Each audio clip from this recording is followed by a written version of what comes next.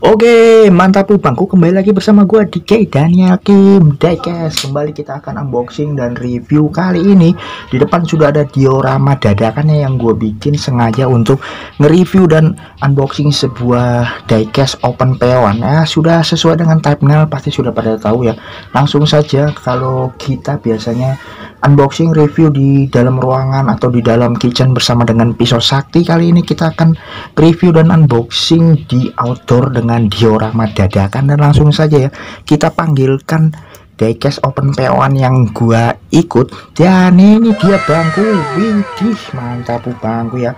Range Rover Camel Trophy 1982 keluaran Ino ini yang versi reguler dan yang di bawahnya itu Range Rover Camel Trophy 1982 with dash effect. Jadi ada efek-efek lumpurnya gitu ya bangku. Mantap bangku. Ini keluaran Ino nampak langsung gue ikut open PO langsung gue beli dua aja. Karena Range Rover ini klasik ya Range Rover klasik memang asik untuk dikoleksi bangku. Oke ya langsung kita uh, unboxing dan review sekalian kita komparasi apa uh, perbedaan dari kedua Range Rover Camel Trophy 1982 kalau gua rasa itu perbedaannya cuma ada efek-efek lumpurnya ya bangku. Oke langsung saja ya.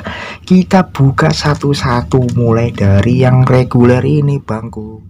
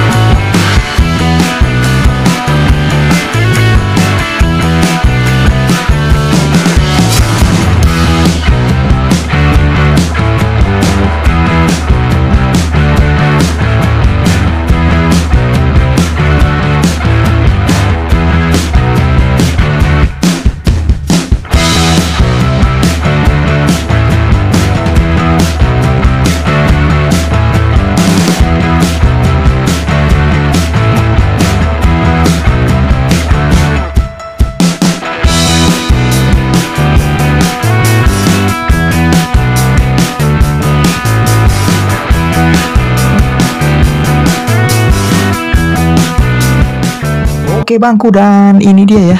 Si Range Rover Camel Trophy 1982 keluaran Ino 64 yang sudah kita unboxing dari blister dan juga kita keluarkan dari box akriliknya. Semua base dari kedua Range Rover Camel Trophy ini tuh semuanya berwarna kuning ya base warnanya base colornya.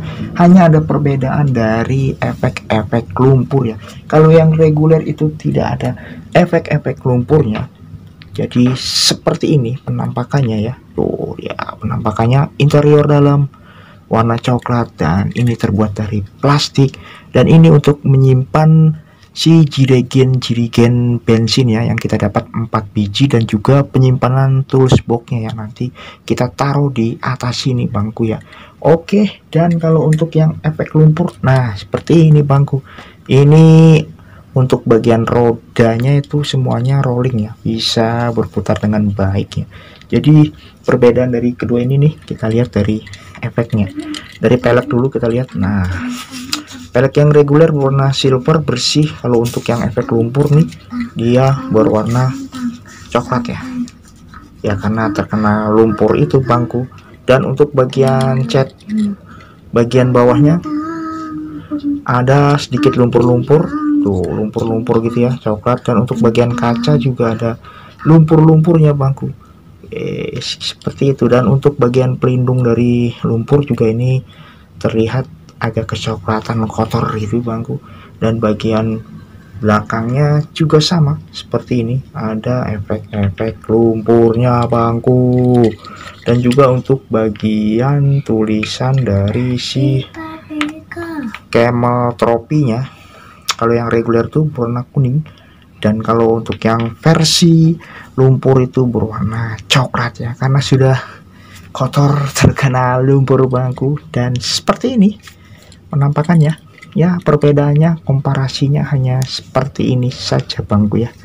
Si Range Rover Camel Trophy 1982 yang DK Daniel Kim Diecast miliki. Oke wajib banget nih untuk di koleksi. Oke nantikan di video-video berikut.